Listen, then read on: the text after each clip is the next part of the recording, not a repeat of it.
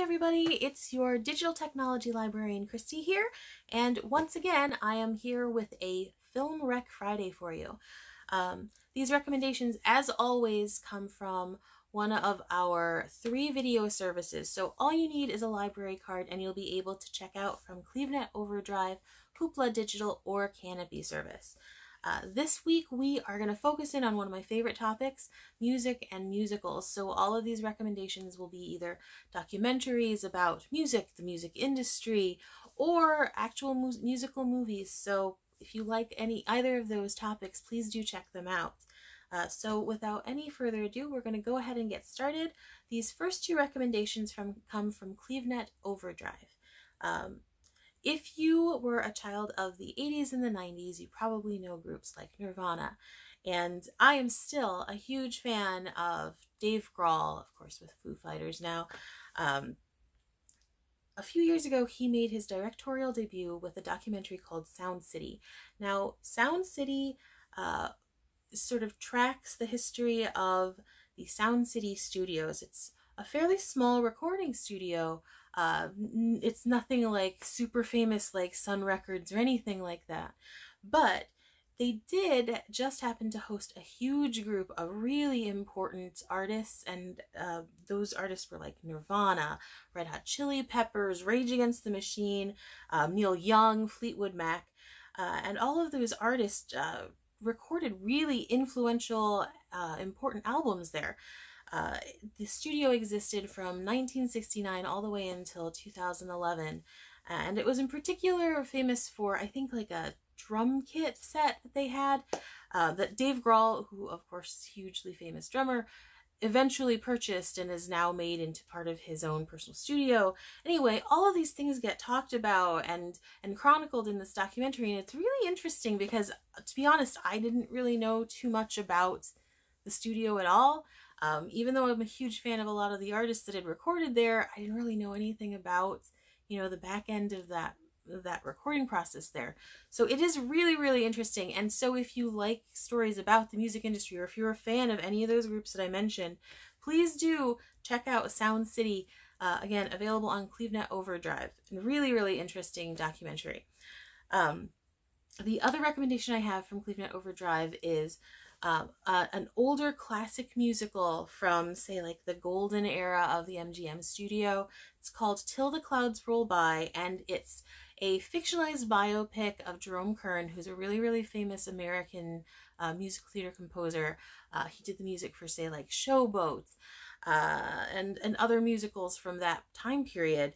And it's sort of the, when you look at the cast list, it's a huge who's who of that sort of golden studio era uh, performance. Uh, say like you had Frank Sinatra, Angela Lansbury, uh, Dinah Shore, uh, and they're singing these songs like that you you absolutely will know, including a really beautiful rendition of "Look for the Silver Lining" by Judy Garland, of course, hugely, hugely, hugely famous at that time period. Uh, and and you have so many different songs that were performed by uh, massive stars. So it's it's really really kind of a fun way to see all of these different performance styles all squished into one movie. So if you're looking for something um, really classic and memorable, strongly recommend Till the Clouds Roll By. Um, totally family friendly, uh, great, great, fantastic music, uh, and highly recommended. Okay, for our second set of recommendations, all of these come from Hoopla Digital, and these three recs are all movie musicals. So if you're not a documentary fan, maybe one of these will work out for you. Um, while they're all musicals, they all have very different tones to them, very different styles of music. So strongly recommend to check them out. The first one is actually Hair. Uh, now, Hair is the Milos Forman film adaptation of the rather infamous uh, musical production. Uh, it's an anti-war film that takes place in the Vietnam War era, uh, so the late 60s we're dealing with, and it's uh, sort of the focuses in on the interactions between these two very different personalities. Um, two young men, one is part of hippie counterculture, and the other one is, you know, uh, from like salt of the earth. He's shipping off to war, and it's just these sudden interactions of these two. They've never met before, but they suddenly find themselves um, interacting all the time. Uh, and you've got these very disparate personalities. The storyline really makes how they interact with one another fascinating. And of course, you've got this backdrop of crazy good rock musical music um, with ludicrously famous songs like Aquarius, um, Good Morning Starshine, and of course, title song Hair in there. Um, so not only do you have a great soundtrack, but you have this really compelling story of these different personalities. Um, and those two main guys are played by Treat Williams and John Savage, who are excellent actors. You've got Beverly D'Angelo in there as well, uh, and and everyone is a solid singer, but an even better performer. So it's just a really good movie to watch if you're looking for something that really has a strong point of view about war uh, in for, in the first place. Um, but yeah, definitely recommended. Check out Hair, available on Hoopla. Second movie, definitely less of a message film. Uh, it's called The Commitments. Now, The Commitments uh, takes place in this sort of gritty, very blue collar Irish community um, where this one young man wants to form this R&B soul cover group. Uh, but everyone who shows up to all of his auditions doesn't really know anything about R&B or soul like the that's just not a music that they listen to or care about. Uh, so it's sort of this process of creating a group and and finding a way to make the music resonate. Uh, you can imagine with that being the style of music they want to sing. Uh, soundtrack is awesome. You've got songs like playing and performances of like Mustang Sally, Chain of Fools, uh, Take Me to the River, and the performances are fantastic. Uh, they really got a really really strong cast put together. Um, it's funny, it's dramatic, it's un- an unexpected film. Like it's just very very unexpected. Everything about it, I'd not I'd not been familiar with it until I was looking for titles for this week, and I I enjoyed it. I, I enjoyed it a lot. It's probably the, my favorite movie that I I watched for this. Um, so if you are looking for something kind of funny and fun, uh, definitely recommend The Commitments. Um, and finally, my last Hoopla recommendation is Across the Universe. I am a huge Julie Taymor fan. She directed the Broadway stage production of Lion King. Um, she did a really cool uh, adaptation of Shakespeare's Titus. She has such a strong visual point of view. You can almost always tell a Julie Taymor movie uh, because of like certain color palettes she uses and the way that she works with shadow and light. So, if nothing else, if you like a beautifully visually impactful film, definitely check out Across the Universe. Besides it just being a gorgeous looking movie, um, Across the Universe is a musical romance, again, taking place kind of in that Vietnam era world, but with the backdrop of Beatles music. Um, everybody loves the Beatles.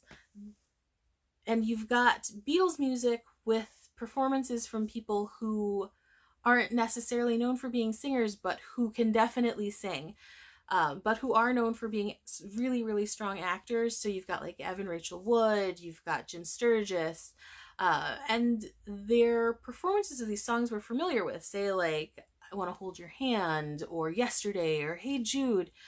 Um, they take on a whole different feel when you're not listening to to to the Beatles sing them. And uh, it works so well with the way that the film is put together and the way that it looks. And it's i just i can't say enough good things about across the universe.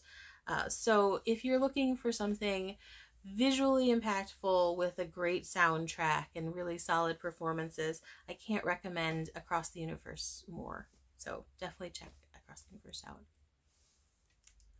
my last two recommendations come from our Kanopy service. Now, Kanopy in general has some amazing um, musicals and uh, documentaries about music. So, if these two titles don't strike your fancy, uh, you should definitely still check out the service. It has amazing films on it. Uh, so definitely check out Kanopy regardless. Uh, so the first one is called Beyond the Lights. Now, I had not been at all familiar with this movie before checking these out for this week, uh, but this one is really, really excellent. Um, it follows this young woman who's really on the cusp of superstardom.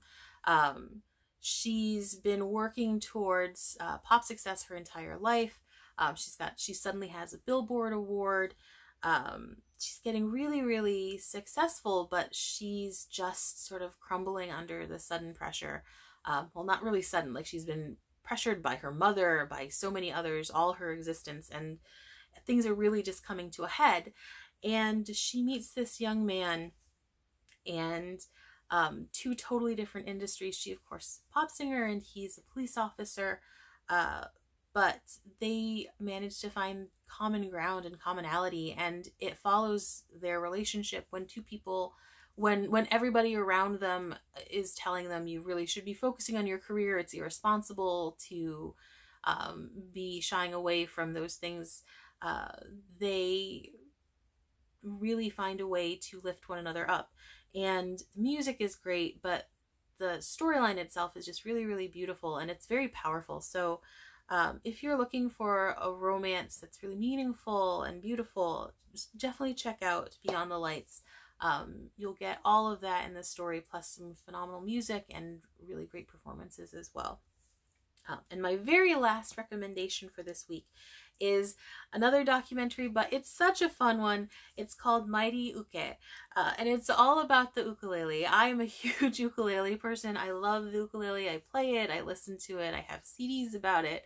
Um, and this one's great for people like me who are huge fans already of the instrument, but it's also really cool for people who are just sort of curious about it. It is an odd looking and sounding instrument, like it's baby guitar what's so special about it.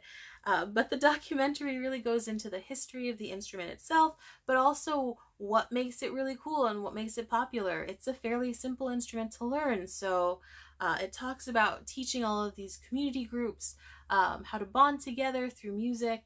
Uh, it's it's like a lighthearted, warm and fuzzy documentary about an ukulele. Uh, so if you're at all curious about music and sort of that pop culture vibe that certain sort of instruments can get around them, I strongly recommend checking out Mighty Uke. It's just it's it's a sweet documentary, uh, so please do check it out. Um, so that's it for this week as far as my recs go. If you're watching something and you think other people should be watching it, please comment down below. Uh, let people know about it. Uh, we're always looking for recommendations ourselves. I'm always looking for things to watch and read and listen to. Um, and as always, we miss you and hopefully we will see you soon. Have a great weekend and I hope you find something fun to watch. See ya.